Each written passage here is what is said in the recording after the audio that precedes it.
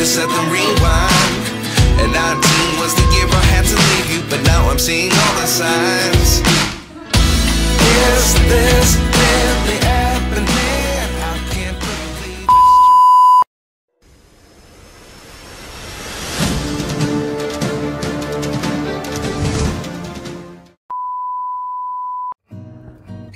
Assalamualaikum warahmatullahi wabarakatuh. Masih bersama saya Dian Purwa, selalu di channel setia Dian Purwa Hobi. Terima kasih sudah selalu mengikuti dan menyimak video-video saya para kawan. Semoga kalian dilimpahkan rezekinya, murah rezeki, barokah selalu para kawan. Pembahasan kali ini saya akan selalu memberikan arahan-arahan atau ulasan apakah serumit itu kalian juga memelihara cucak hijau kalian sendiri. Sebenarnya untuk pemahaman cucak hijau kalian sendiri, kalian lebih detail dan jeli. Itu saya yakin pasti bisa berawal.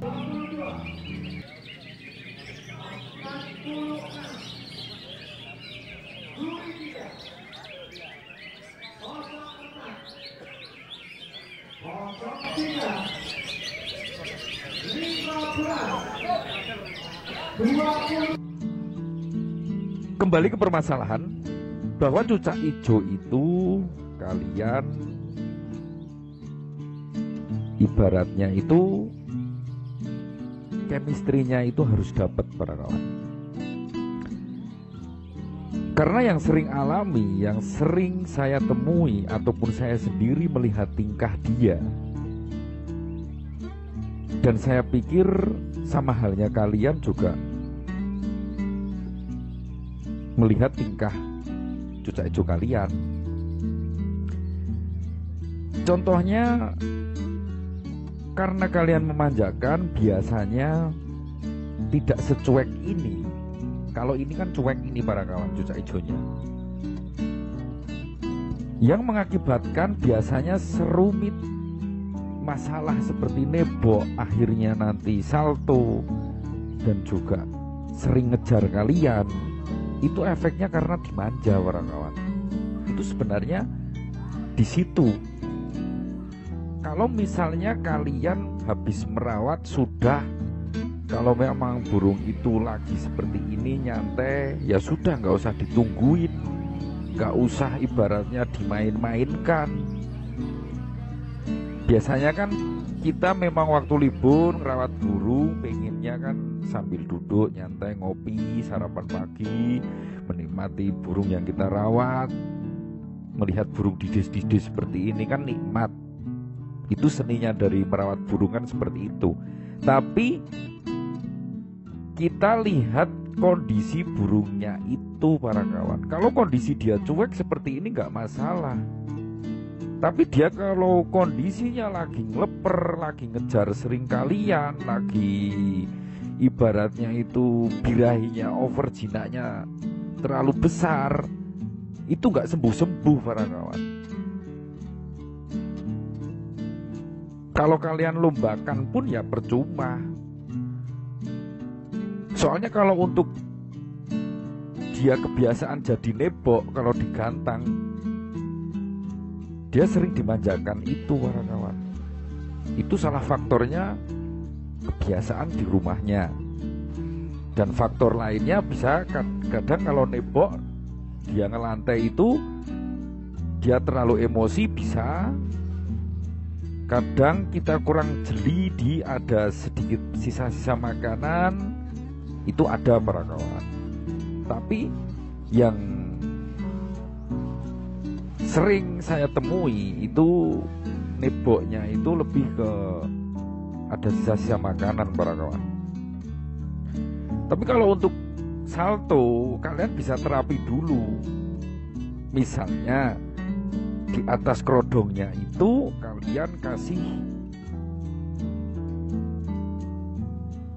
kerodong yang disangkar maksud saya disangkarnya itu atasnya kasih kerodong jadi hariannya ablak atasnya itu kasih kerodong jangan kasih senar. Nanti kalau dia misalnya nyalto gini kena senarnya malah bahaya para kawan. Mending kasih kerodong atasnya saja. Itu bisa kebiasaan dia nanti nggak salto. Dan ada juga kalau yang ngejar itu pasti faktor sering dimanja sering, sering kalian ngasih jangkriknya itu dengan tangan. Itu pasti ngejar para kawan. Kan contohnya kayak Andis Merah. Andis Merah itu kadang kalau yang merawat kita sendiri lihat dia bisa anjlok para kawan bisa turun. Halnya cucak hijau juga sama. Makanya di lomba kayak gini pun biasanya perawatnya begitu habis ganteng keluar ada para kawan hijau pun juga sama. Karena cucak hijau sama anis merah dia memang burung-burung tipe semi birahi. Yang ibaratnya itu sangat mudah manja dengan pemiliknya para kawan. Apalagi kita yang merawatnya setiap hari itu sangat mudah sekali manjanya. Makanya kita sebagai perawat yang jeli harus cuek. Begitu kalian habis dirawat pagi kalian kasih jangkrik mandikan jemur secukupnya udah taruh lagi di dalam. Kalian yang mau kerja ya tinggal kerja. Itu aja para kawan. Jangan diutak-atik utak-utek. Jangan dilihatin terus. Jangan digoda-goda gitu terus. Ya akhirnya dia manjanya nggak ketulungan nanti akhirnya. Akhirnya jadi baratnya dia terlalu manja sekali ini yang sering saya alami pun juga ternyata saya lakukan secuek itu akhirnya ya sembuh. Akhirnya nggak ngeleper akhirnya nggak ngejar-ngejar kita. Karena dia ibaratnya mau minta makan mau dimanjakan seperti itu para kawan. Ini sering terjadi sekali di kasus cucak hijau para kawan banyak yang saya saring di kolom komentar dan juga saya sendiri pengalaman saya sendiri pun juga kalau saya memanjakan cucak hijau saya akhirnya dia ya ngejar saya gitu. Akhirnya dia over jinak kalau kita masih lakukan seperti itu terus ya sudah nggak akan sembuh para kawan. Akhirnya kita sendirikan para taruh di kamar mandi ataupun di ruangan yang mungkin nggak ada lalu lalang orang. Nanti seminggu kalian lakukan terapi buahnya biasanya kasih selang-seling seminggu kasih pisang sama pepaya aja. Itu biasanya tiga hari empat hari sudah sembuh para kawan kalian lombakan seperti ini bisa kalau yang memang punya karakter hiper ya malah menjadi menjadi dia tapi kalau tetap kalian manjakan dia terus berulang-ulang terus kalian cari settingan-settingan terus akhirnya nanti dia malah nggak konsisten akhirnya nggak ujung sembuh. Mau birahi pun dia tetap nggak sembuh para kawan intinya dicuekin aja. Alangkah baiknya sendirikan itu kalian punya saudara yang memang nggak ada burung taruh situ. Kalau di rumahnya kalian besar ya taruh pojok-pojok yang memang nggak ada aktivitas orang pun.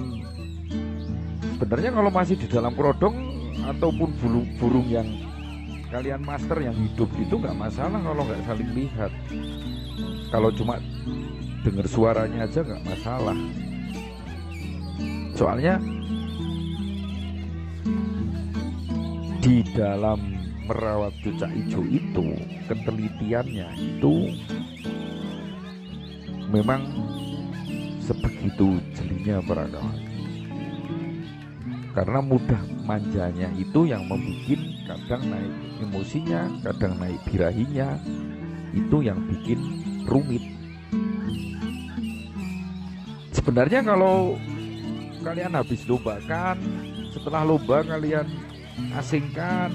Nanti kalau mau lomba kalian dalam arti diperhatikan settingannya kalian kalau bisa saat dia sedang over birahi atau sedang over emosi jangkriknya berapa catat para kawan. Karena kalau kita tidak mengetahui hal itu akhirnya ujung-ujungnya dirawat-rawat terus para kawan. Nanti kalau sudah kalian selesai lombakan sendirikan lagi. Nanti kalian coba lagi. Lakukan itu aja para kawan. Jadi nggak serumit sebenarnya nggak serumit yang kalian bayangkan. Karena serumit itu kalian yang ngelakuin sendiri tidak belum ataupun tidak belum memahami karakter burung itu. Biasanya kan kita penasaran kayak gitu akhirnya kita jagain terus kita lihat terus apalagi kalau waktu kita libur kan gitu. Sebenarnya kita main cuek aja sama cak ijo itu. Takutnya kalau di kita saat gantangan kalau dia overjina ataupun dia melihat kalian bisa salto bisa nebok bisa turun kadang bisa ngejar para kawan. Saat digantang itu bisa. Makanya kita menghindar kalau memang dia lagi seperti itu kalian saat digantang menjauh aja. Ini karakternya biasanya burungnya minta sendiri kalau di lokasi lomba. Jangan dikasih yang rame. Kan tipe burung kan masing-masing ada yang dibawa lokasi langsung gacor ada yang diem kan gitu para kawan. Tapi kalau dia lagi manja lagi itu biasanya dia nggak begitu gacor di dalam lokasi lomba.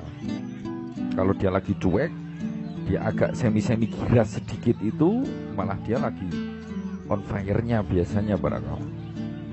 Itu yang kalian simak atau kalian pahami. Sebenarnya hampir sama aja perawatan ataupun kasus-kasus cucak hijau itu hampir kita lihat sehari-harinya kita itu bisa kita pahami para kawan. Tinggal kita sendiri konsisten, sabar dan enggaknya itu saja.